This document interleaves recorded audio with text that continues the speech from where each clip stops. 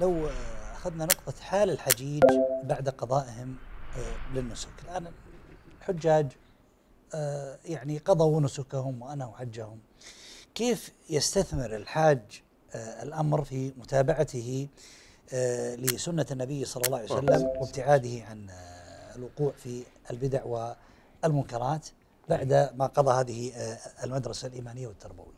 أحسنت. هي هي الخلاصة وهي الزبدة. يعني حج وهذه المدرسة وهذه الجرعة وخاصة وأن الحاج لما ترك بلده وترك أهله ودفع ماله وذهب إلى وين؟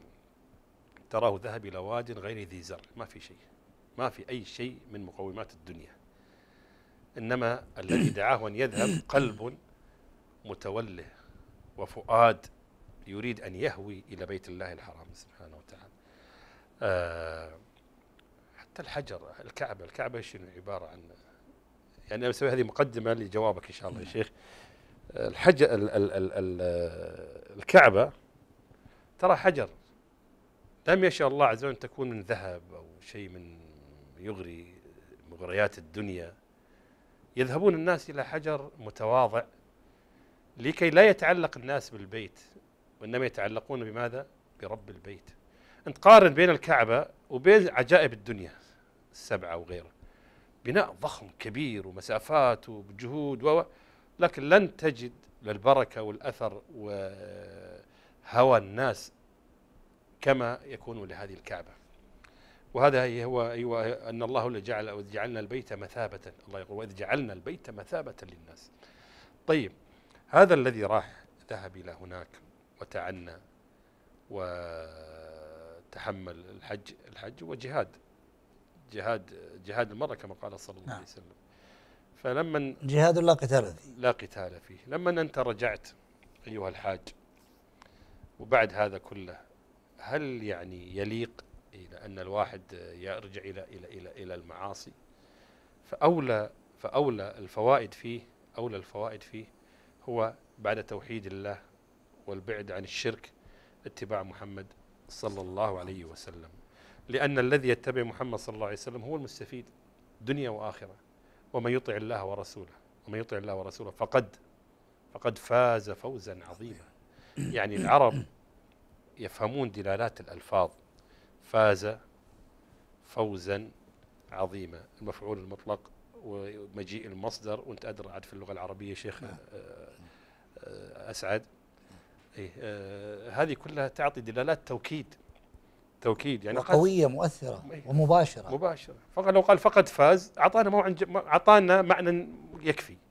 لكن لمن يقول فقد فاز فوزا ثم وصف هذا الفوز بالعظيم؟ نعم بالعظمة نعم. إي نعم. فدلالة على على على, على أن هذا الفوز ليس بعده نهاية. طيب ما هو الطريق الفوز؟ ونقصد لما يكون فوزا هذا الذي لا لا لا لا, لا خسارة بعده. فوز مطلق. هو طاعة الله وطاعة الرسول صلى الله عليه وسلم. من ضمن طاعة الرسول صلى الله عليه وسلم هو هو ما حصل للحاج يعني آه، في الحج. وأين وقف النبي صلى الله عليه وسلم؟ كيف رمى؟ ماذا كان يفعل بعد الرمي؟ كان يذهب ينحني شيئا بسيطا ثم يدعو. ثم يمينا ثم يدعو. ثم طيب كيف كان يطوف صلى الله عليه وسلم؟ كيف قبل كيف كيف كيف جرعات جرعات متراكمة على القلب. فمن أخذها بحقها مخلصا لله فإن الأثر سيظهر معه إلى أن يموت. وسيرى أثره عندما يأتي الحوض ويرى النبي عليه الصلاة والسلام.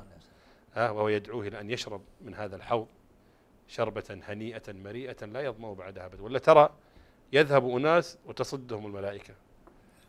تصدهم نعم. يا أمتي أمتي يقول النبي صلى الله عليه وسلم. لا تدري ما أحدثوا لا تدري ماذا أحدثوا بعد إذا إحنا الربحانين دنيا وآخرة. نعم. قل إن كنتم تحبون الله فاتبعوني. فاتبعوني جواب الشرط؟ يحببكم, يحببكم. الله. يحببكم الله. نعم. واللي يحبه الله وين بيكون؟ الجنة. جنة سعادة دنيا فأيضا يعني إتمام لسؤالك أن, أن, أن من أهم علامات اتباع النبي صلى الله عليه وسلم الحذر الحذر من مظاهر الابتداع في دين رسول الله صلى الله عليه وسلم. جميل. الحج ينهي هذا. الحج يعني أيضا ينفي ينهي يعني يلغي هذه المفاهيم آه، يعني في الحج ما كان في غلو ولا تعظيم لولي لا حي ولا ميت ولا ذكر لأحد بل كله ذكر لله تعالى ولنبيه صلى الله عليه وسلم. ليس فيه رقص ولا دوران ولا سماع. ولا أيضا بل كله خضوع وخشوع. وليس فيه تعظيم لبيت كما هو في بيت الله العتيق. بيته يعني آه، ما في بيت في الدنيا يقصد العبادة إلا, إلا الكعبة. هذه تلغي مفاهيم الذين يتعبدون الله بالرقص والغناء والدوران أو الذين يقصدون بيوت معينة يضعونها ويقصدونها للتعبد لا هذا الحج الحج هذا ينفي هذا كله. فالحج يكشف حقيقة الابتداع في دين الله حتى الذين يفعلون بمسمى التعبد. هناك من يرقص تعبدا لله هناك من يدور حول أمور وهناك من يستغيث بقبور ومن يجعل له بيتا يطوفه كل سنة من عنده هكذا للعبادة. لا لا الحج يلغي هذه الابتداع. ويعيدنا إلى سنة رسوله صلى الله عليه وسلم.